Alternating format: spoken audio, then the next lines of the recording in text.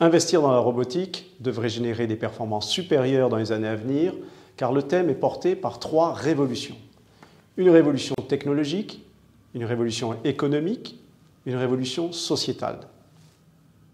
Une révolution technologique d'abord, car les robots sont de plus en plus intelligents, de plus en plus petits, sûrs, de plus en plus économes en énergie et également de plus en plus bon marché.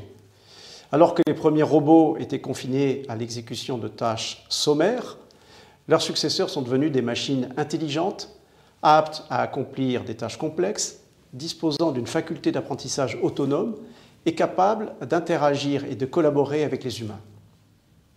Une révolution économique, ensuite, car les robots réinventent l'industrie et les processus de fabrication.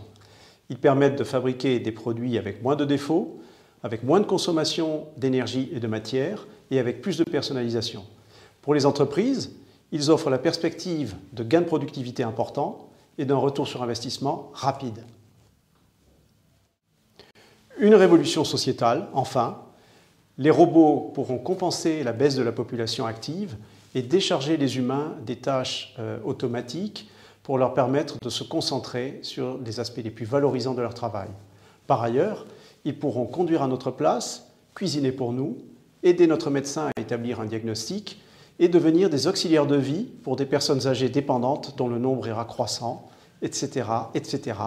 On le voit, le champ d'application de la robotique est très vaste et nous allons vers une adoption de masse.